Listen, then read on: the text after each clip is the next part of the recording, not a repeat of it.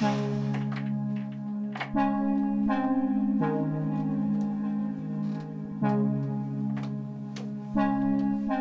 what's up guys? It's me again, Hunter.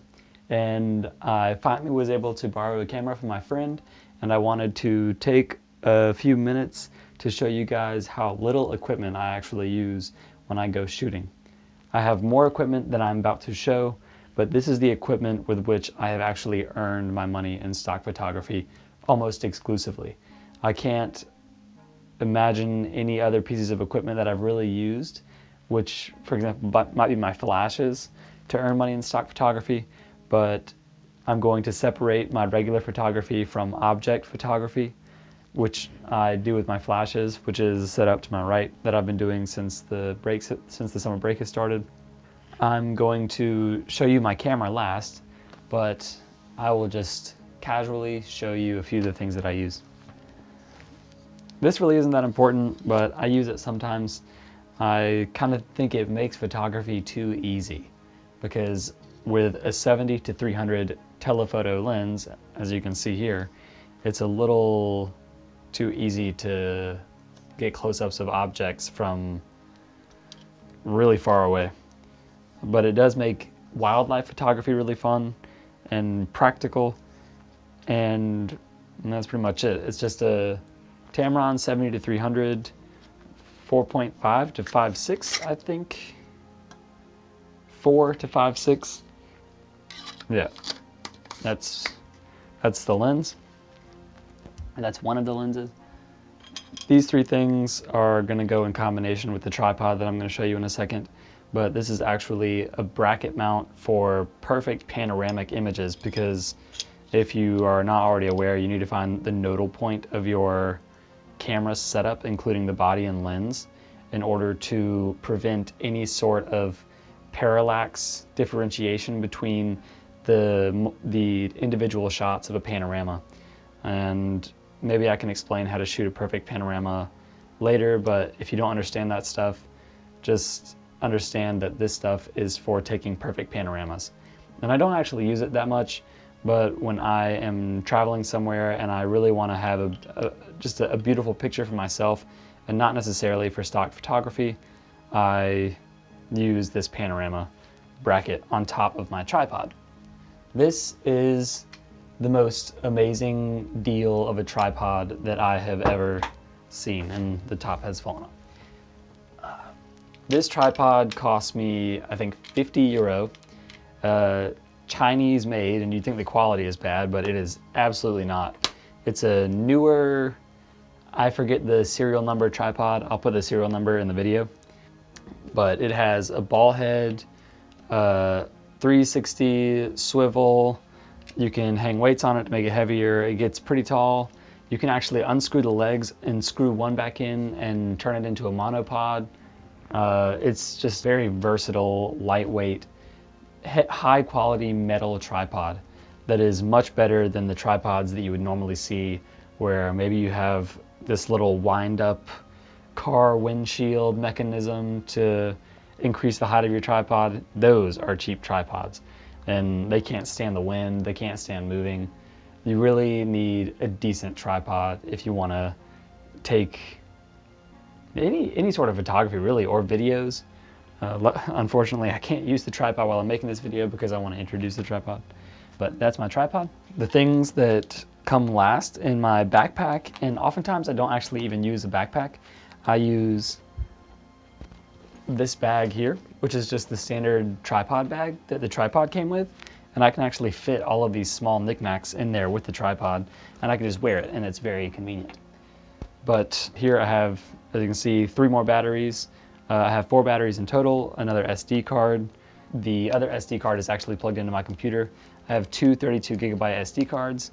I do have two chargers for those for those batteries, and one of the chargers actually works on mini USB, and I have a battery backup bank that I plug into that charger, and I can actually charge batteries on the fly, which is pretty useful. This this is Natasha. This is my camera, which I love so much and I have been everywhere with, and nobody knows more about me than this camera. And I love this camera. This exact setup is basically my money generator. I have made almost all of my photos for stock photography using just this stuff. We have the body of the camera is a Nikon D5000, 5200, 5200, wherever you say it. And I know that it's not professional grade. I would say it's sort of middle grade. It still has the automatic modes for portraits and scenery, but I always use manual mode, of course. I know my way around the camera really well. This, uh, this, this lens right here was actually an emergency purchase because I, I destroyed my first lens by sledding with it down a mountain and I, as you can imagine, it slammed into a lot of things and by the time we got to the bottom of the mountain, it was broken. This right here is probably even more useful than my real tripod. It is a Manfrotto pocket tripod. Uh, can't, I don't know if it's in focus or not. This cost me maybe uh, 15 euros, something like that, this tiny little piece. And as you can see, it, it has legs that fold out and allow you to get different perspectives on the go. And it just stays on your camera and it stays out of the way and very, very useful. This, this package itself is just powerful in itself. I, I really love this package. Uh, as you can see, I decorated my lens hood with my name and stuff just because I was bored one night. But this is the this is the setup to which I owe the bulk of my work. Most of the things that I was showing were just accessories, but this is truly what I walk around with every day. Whenever I go somewhere, I just take this with me. And to be honest, my my next goal in photography equipment is to find a camera that's more subtle than this. I'm thinking sort of in the direction of a point and shoot, but maybe not so weak as a point and shoot. Maybe some sort of system camera, system camera. Uh, I'm not exactly sure what that's called in English either. But yeah, I, I, I love this camera and this actually used to be a neck strap, a custom neck strap that I bought, but I found that I can just use this small neck strap attachment to wear around my knuckles and I can just carry my camera like this for miles for, for, for hours and hours of walking and I and I do indeed do that. I just think to have the camera on my hand at all times like this ready to go is the most convenient and allows me to shoot whenever I see anything that captures my eye. Uh, and that's that, that's pretty much it that's the that's the equipment that I use and I know it's not a lot and I've seen a lot of other photography bloggers introduce their equipment in their bags and I would definitely not consider myself of consistent wedding photographer caliber that I need two bodies to walk around with that I need any any sort of bag that weighs me down because the whole goal in my collection of active photography equipment is just to have stuff, have stuff that I can walk around with and still be a normal person.